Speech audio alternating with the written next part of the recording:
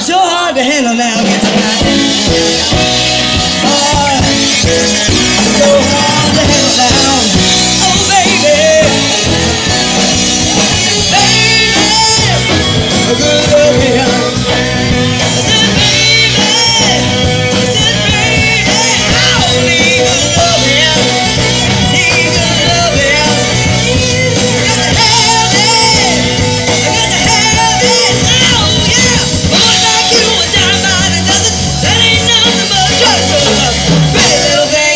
Light your candle, cause Papa, I'm sure the hell now. Yeah.